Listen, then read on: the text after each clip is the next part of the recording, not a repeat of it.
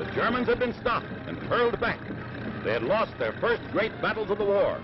Skillful Russian gunnery and unending vigilance had stymied the German blitz. As the tide began to turn on the German war machine in World War II, threats from above increasingly impacted their efforts. Whether this be strategic bombing campaigns against factories or close air support, the dwindling supply of planes and skilled pilots left forces on the ground at risk. While flak guns such as the renowned 88mm helped against the flying fortresses and other large bombers, these were far less effective against low-flying attackers bombing and strafing units and supplies. Gunsight aiming point cameras show some of the violent treatment 8th Air Force fighter pilots gave German ground targets in November. In order to protect against these, the German army would begin a variety of projects to create vehicles known as Flakpanzers. Today, we will look into the story of one of these built using a Panzer IV hull that you likely know as the Wirbelwind.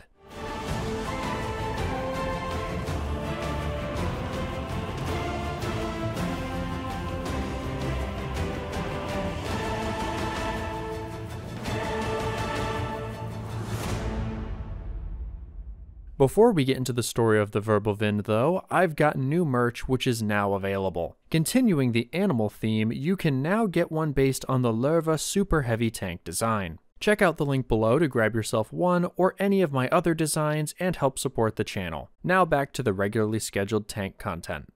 The development of German self propelled anti air vehicles during World War II in many ways parallels that of the tank destroyer or self propelled gun. During the early parts of the war, AA guns were often transported via trucks or half tracks, either being towed behind or in some cases in fixed mounts. These would then be driven into position and crewed to provide protection for various locations. However, while this could protect strategic locations, these were of little help to units on the offensive or, as we see during the latter parts of the war, on the retreat. This same issue can be seen with anti tank and artillery guns during the war, as the larger these weapons became, the harder it was to move them around using manpower, trucks, or in many cases, horses. The solution for all of these for Germany came in the form of what we now call the self propelled gun, which, as the name implies, allows for the gun or guns to be moved under its own power.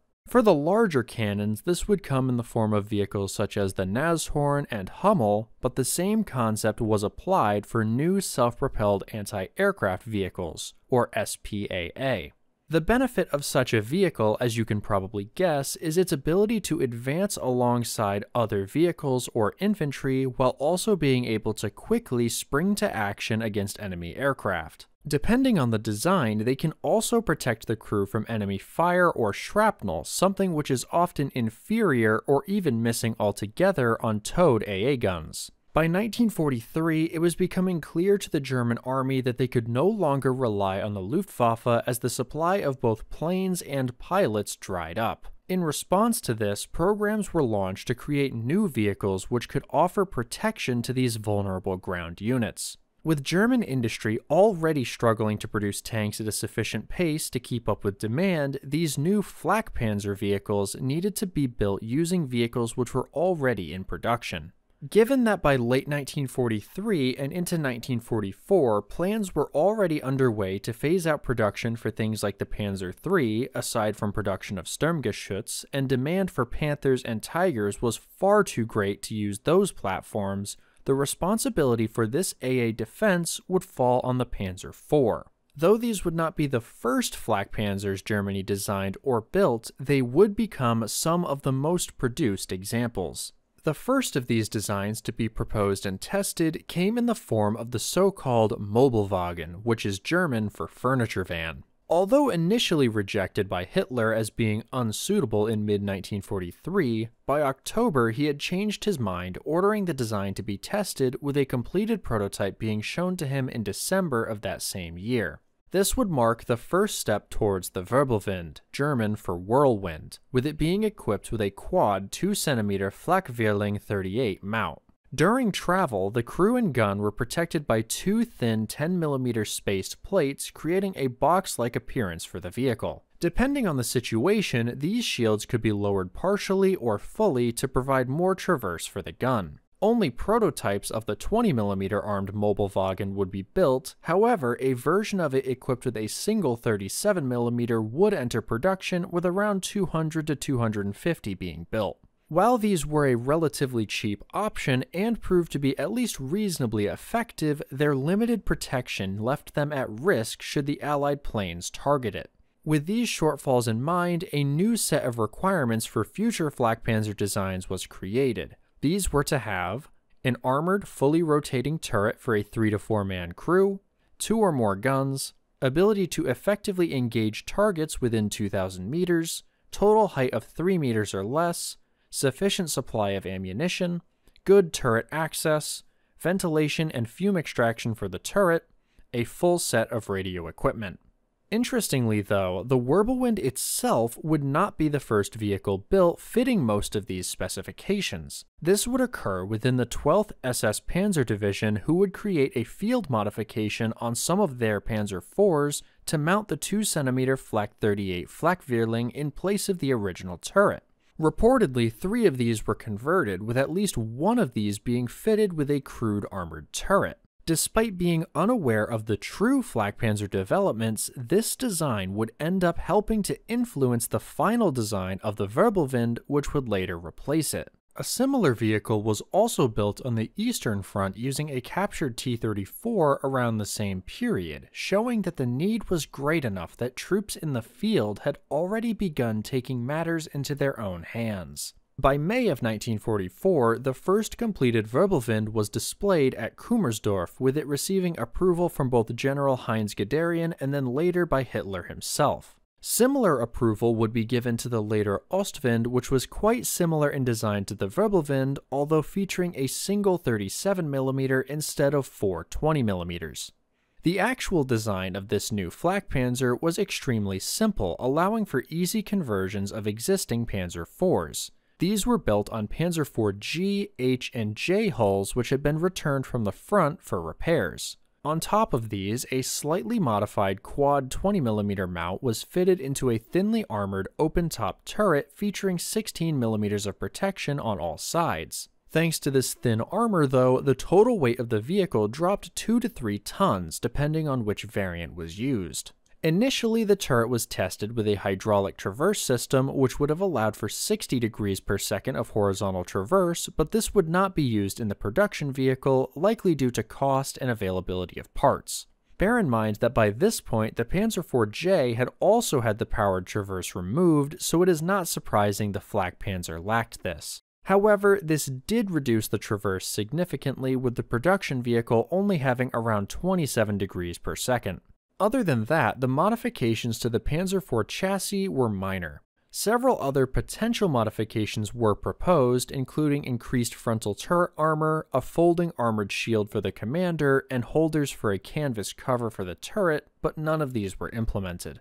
To feed this new armament, the Wirbelwind was equipped with 3,200 rounds of ammunition, which were fed into the 20mm cannons from 90 20 round magazines. Additionally, 1,350 rounds were carried for the hull machine gun. The number of crew in the tank remained the same at 5 men, however, unlike the Panzer IV, the turret crew consisted of two loaders and a commander who would also act as the gunner.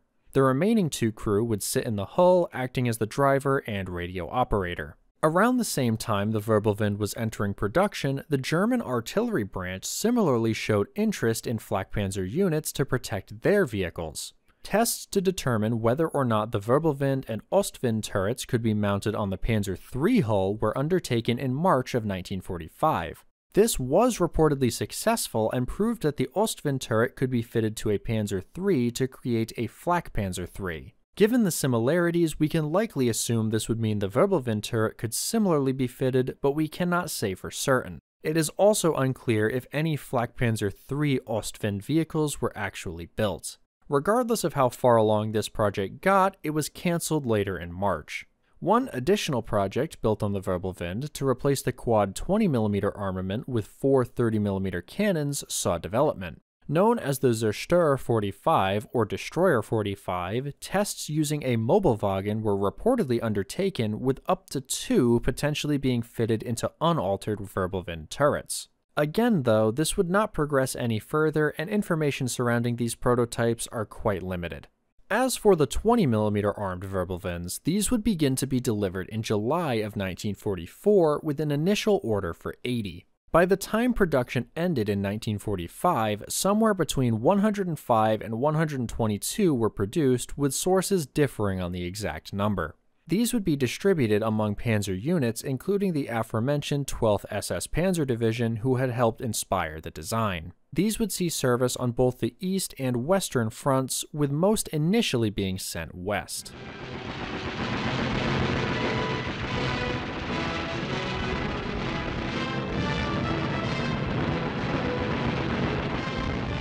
As you can likely guess, they were to provide security to the tank units they were attached to, engaging enemy aircraft when they appeared. This was not to be done by firing at planes flying overhead in an attempt to deter them, but rather to target and attempt to down aircraft. Likely, this distinction was to prevent the crews from wasting ammunition, although it would help prevent the fighters from easily spotting them as well. Considering a full platoon of these vehicles only consisted of eight split into two groups of four each, any losses could prove incredibly detrimental to their overall effectiveness at protecting the tanks they were assigned to. Wirbelwinds were also used in ground support roles, providing direct fire against infantry, anti tank guns, and other soft targets. One account during the Battle of the Bulge showcases this as an American AT gun knocked out two Möbelwagens before being engaged by a Wirbelwind, which caused the crew to abandon the weapon. Considering this reportedly occurred at a distance of only 50 meters, it's no surprise they were quick to make themselves scarce when multiple 20mm guns opened up on them.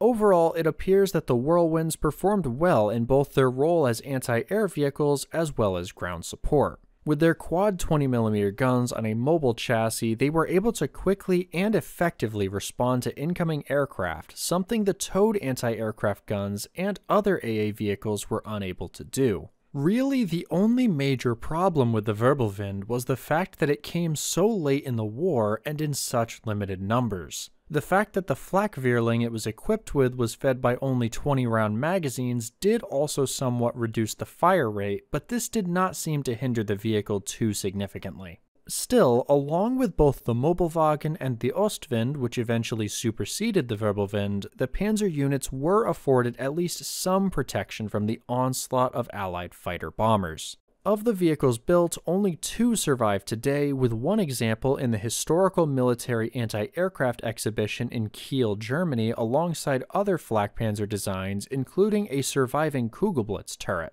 As for the second survivor, it currently resides in Canada and has been undergoing an intensive restoration process by the aptly named Flak Panzer Restoration Project. I met some of the people working on this, as well as some staff at the Borden Military Museum where the tank now resides, and was able to see the current state of the project. Although it still has a ways to go and is currently awaiting reassembly, much of the work has been completed and the turret is now back on display indoors along with their other vehicles.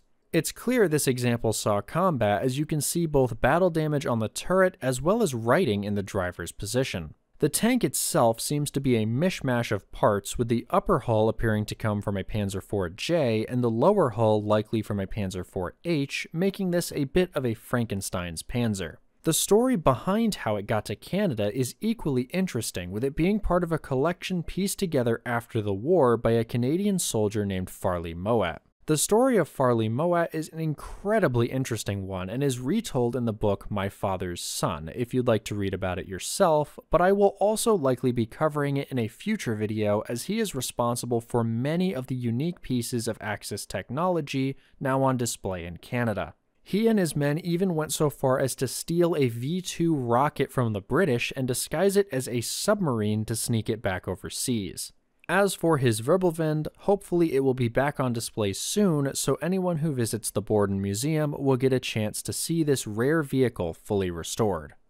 As with many tanks of the mid to late war in Germany, the Wirbelwind is a tale of a vehicle which was too little too late. While it did serve its purpose well and was a cheap solution to the problem it sought to answer, by the time it reached the battlefield, the war was practically over. Still, with its introduction, Germany fielded their first true flak panzer and would set the stage for vehicles like the Ostwind and Kugelblitz, proving the viability of the concept. Even today, self propelled anti air vehicles remain in service around the world, remaining a vital layer of defense against aerial threats. Recent events between Russia and Ukraine have again shown the value of such vehicles to protect and support ground forces both from threats in the air and on the ground. What do you think about the Wirbelwind, though? Am I right to say it was a design forged for battle, or am I wrong and should have put this in the cursed by design category? Let me know in the comments, and don't forget to check out the link below to buy my brand new Löwe themed merch design. You can also grab yourself a model of the Wirbelwind like the one you saw in this video by checking out Warbricks USA, and if you use the code coneofarc5, you can save 5% on your order. I also want to remind you that all the sources I used for this video are available in the description, so if you want to learn even more about the Wirbelwind, you can check them out for yourself. And if you buy a copy of the books I used with my links, it helps support the channel as well as the authors. Special thanks to the staff at the Borden Military Museum for giving me the opportunity to see their Wirbelwind in person earlier this year, and for all the work they and the Flak Panzer Restoration Project have done to preserve it. That's all I have for you today, though, so I hope you enjoyed, and thanks as always to my YouTube members for supporting this content, even when the upload schedule gets a little messed up. Thank you all so much for watching, and if you want more Flak Panzer content, check out my previous video on the story of the Kugelblitz or on some of the Flak Panther concepts. Hope to see you there or on the next video.